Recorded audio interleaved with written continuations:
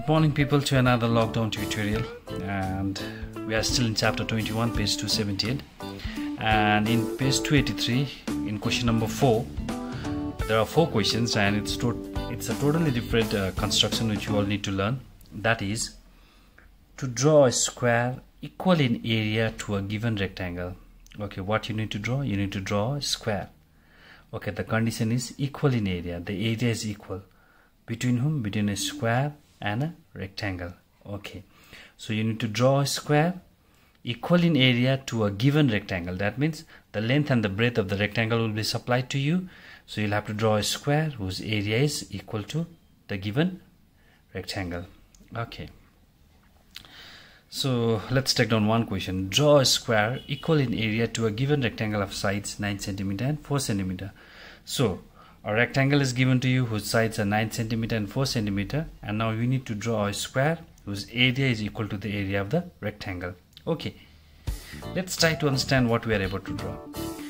You don't need to show this in the exams. This is not needed in exams but yes you need to understand. So let's understand at least for the first diagram. After that you don't need to show this. Again did you all hear me? You don't need to show this but for the first diagram let's do it at least let's try to understand what we are doing or what we are drawing. Okay. So what is given to us? Length of the rectangle is given to us 9 centimeter. Breadth of the rectangle is given to us 4 centimeter. So the area of rectangle what's the formula for area of rectangle? Length into breadth.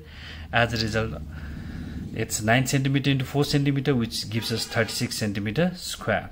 Okay now the question says area of rectangle is equal to area of square yes or no people? What does it say?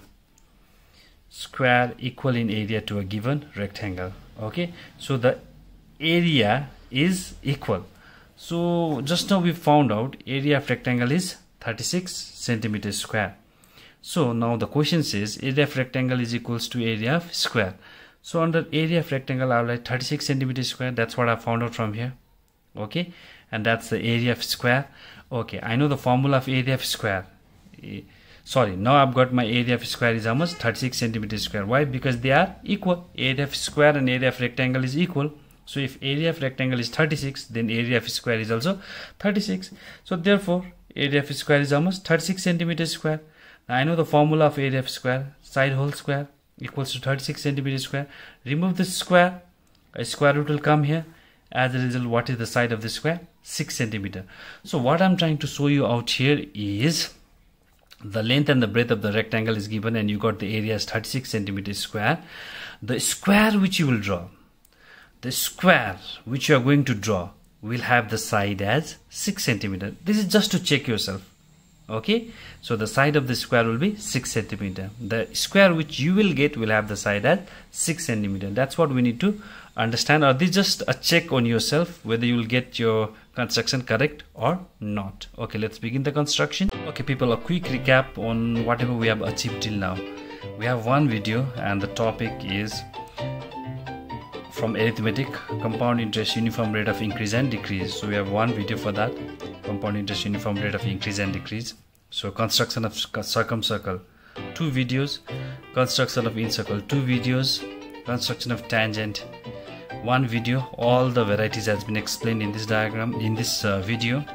And to draw a mean proportion or to find the square root geometrically we have one video to cover up everything. And then today's video would be to draw a square equal in area to a given rectangle. So up till now this is the complete package of whatever we have completed till now. Okay? Okay people let's begin the construction. So firstly i need to draw a rectangle because that's given to me. And the sides of the rectangle are 9 centimeter and 4 centimeter. So my sides my samples are ready. Okay remember one thing when you draw this figure.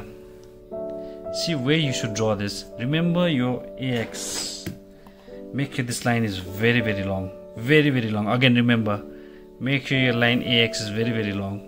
It does not matter if you go till this section of the page okay? Also remember one thing. Whenever you are drawing your a out here wherever you start your this line segment make sure there is some space out here. Keep some space out here because we'll have to draw 90 degree out here. And make sure there is some space below also because we need to draw a semicircle. Again few things to remember. Make sure your line is a very long line. Don't start from here. No don't start. Start from here so that you have some space to draw 90 degree out here. Few things to remember before you draw this. So let's begin then. Firstly I'll try to draw a rectangle sorry I need to draw a rectangle with sides 9 centimeter and 4 centimeter. So what I'll do is I'll measure my sample 9 centimeter. Okay. Let me show it to you all in the camera. Guys I measured 9 centimeter. Okay. Let me be very very precise always be precise with the diagram. Yes you all can see 9 centimeter. So go to A and a compass here. Okay fine. So I have my B. So I have my length as 9 centimeter. So now since this is a rectangle I need to make sure. So if you all remember your figure rectangle imagine a brick. Okay people this is how your rectangle will look like. Can you see this can you see this. So this angle is 90 degree. So from here I'll cut off 9 centimeter. I'll draw 90 degree from here and from there I'll cut off 4 centimeter. And this side also will be 4 centimeter and this also will be 9 centimeter. Again 9 centimeter 9 centimeter 4 centimeter 4 centimeter. How do I draw? I've cut off 9 centimeter.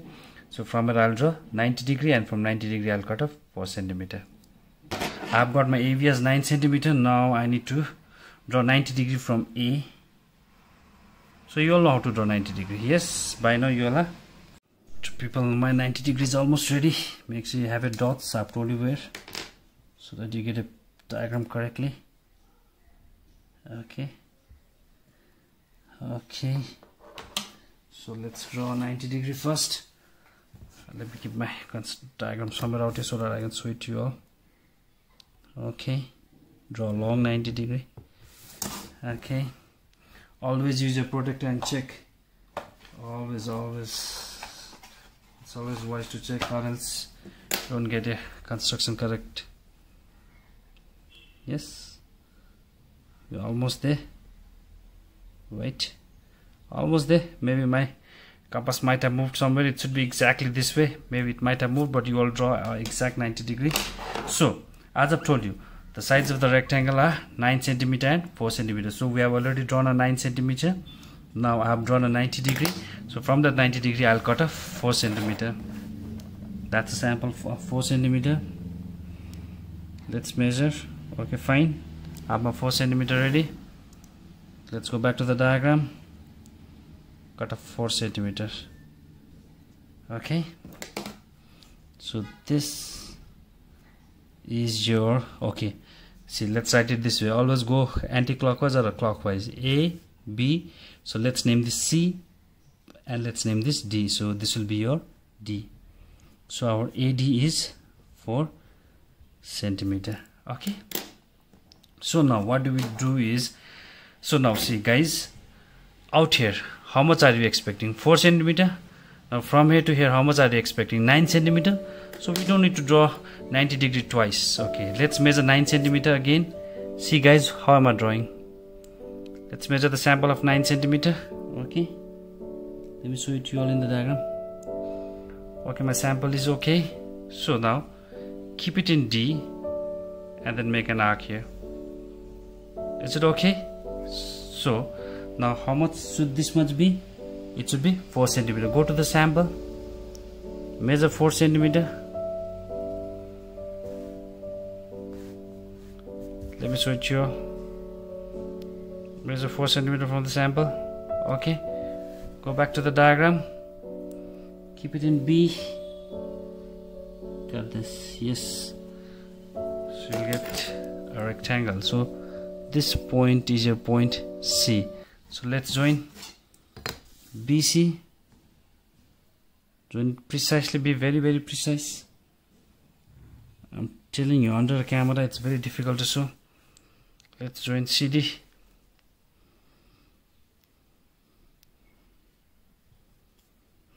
hope everyone can see this. Fine. So this one is 4 centimeter this one is 9 centimeter. Okay. Now what's the first step what's the first step a rectangle abcd with sides 9 centimeter and 4 centimeter is drawn now let's go to the second step DC is extended and cut off CE equals to CB from the extended part. Okay, what is extended? DC, okay, let's read the question properly. It says what? DC is extended. Okay, let's extend DC. Can you all see DC? Yes, if you all can see DC, let's extend DC. DC is extended. Make sure it's very straight. Okay, DC is extended. Extend it very long. Okay go till we have gone out here. Okay DC is extended. And what does the step say? DC is extended and cut off CE equals to CB from the extended part. So from the extended part you have to cut off CE which is equal to CB okay guys let's see where is our CB can you all see my CB yes measure CB okay fine and from this extended part cut off CE. So you'll keep a compass here and cut off CE. So people, I've got my E. Again, check this step. DC is extended and cut off CE which is equal to CB. So extend DC, measure CB and then cut off CE. Okay, we are done with that. Let's go to the next step. Now step 3 says DE is bisected at O. With OD or OE as radius, a semicircle is drawn. What is bisected? DE. Let's bisect DE at O. Can you all see my line segment DE? So I need to bisect DE. Let's bisect DE. And it gets bisected at O. I hope everyone is able to see the figure. So we are bisecting DE. Is that okay? So take anything more than half. I've told you how to bisect a line segment. So you all can clearly see this is more than half. Make an arc here. Make an arc here. Go to D. Since you are bisecting D cut off the arc. Come back come down. Okay if it does not cut go back to E again. Cut off. Okay fine. So where is DE bisected DE is bisected at the point. O. So let's bisect this. Hope everyone is able to see this? Make sure it's with dots. Okay fine. So this is my O. Again what are we bisecting? Not DC no we are bisecting DE is that okay or not? What are we bisecting? DE so DE is bisected at the point O. Now with OD or OE as radius a semicircle is drawn which we have been drawing up till now. Let's go to step 3 yes. D is bisected at O and with OD or OE as radius a semicircle is drawn. So with OD or OE as radius since we've got our O let's measure OD can you see it? OD or OE a semicircle is drawn. Let's draw a semicircle so draw a semicircle it's exactly at. E make sure it comes exactly at. E so I've got my semicircle okay? So now let's take another step. Once we get the semicircle what are the questions what are the steps? Step 4 extend BC which intersects the semicircle at F. I'm talking of step 4 extend BC which intersects the semicircle at F. So extend BC people. Let's extend BC this is my BC extend BC which intersects the semicircle at the point F. So this is my f people. Always make a point and mention. So I've got my f. And then what does this step say? With CF as one side or square CFGH is drawn. So now with CF as one side can you see so now I've got my CF can you all see CF so with CF as one side a square is drawn. So this CF which we've got out here is the side of the square. So we'll be getting a square somewhere out here. So let's measure CF can everyone see I've measured CF so you keep a compass here. Make sure out here. You make an arc here. Okay. Go to F. Make an arc here now since this is a square all the sides will be same. Go back here to this meeting point. Cut off this. Okay. So make a point everywhere. So let's name this. Since this is FCF let's name this G and let's name this H. Okay. So let's join. Let's join this and this okay. And then let's join this and this. I hope everyone is able to see? Yes. Okay thus you can see CFGH is the required square. Let's check the side of the square how much? So our expected answer as I've showed you all in my in the beginning of uh, the construction I've showed you what should be the side of the square. 6 centimeters. So if you get the side of the square at 6 centimeter you're almost correct let's check how much do we get uh, uh, let's keep it in zero. Oh, oh, I'm so sorry. I think I've got six point six point one. It's all right. It's all right. It's all right. So your last step will be. Therefore, CFGH is the required square with side 6 centimeter. But did I get 6 centimeter? No. So I got my side as 6.1 centimeter approx. Whose area is equal to the given rectangle. Okay people? So what was our expected answer? Our expected answer was 6 how much did we get? 6.1 centimeter at the side of the square. That will be considered. Is that okay or not people? So guys look here again. This is the rectangle and this is the square the area this area. And this area is is that okay or not? And what's the what was the expected side? The expected side was 6 centimeter. But how much did we get? 6.1 that can be considered. Is that okay or not people? Even if you get 5.9 that can be considered correct. Okay so you can write out here. Let's conclude here. Therefore CFGH is the required square with sides as 6.1 centimeter approx. Okay people. Take care stay safe stay home. Thank you